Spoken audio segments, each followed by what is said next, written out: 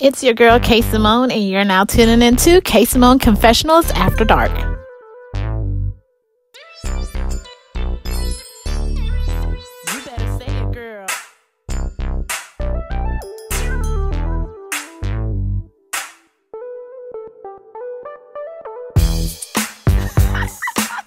Hey, hey, hey, it's your girl Kay Simone, and I'm here to give you guys an update on Cletora.com, an item that I just received as one of their brand ambassador.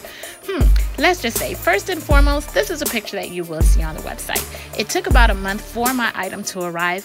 Once it arrived, I noticed that the package came from China, which automatically made me a little bit skeptic. So I took it out the package, and voila, it was just like I expected. The fabric is extremely, extremely cheap. The cut of the dress is nothing like you see on the picture online. Of course, most items that you order online are very cheap and not like it looks very much so online. So, with that much said, if you order from this company, be aware that it will not look anything like the picture you see online.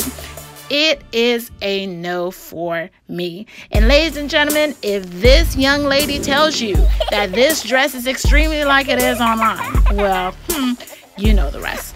Again, I will not be ordering from Cletora.com and I will not be offering my discount on any of my social media platforms.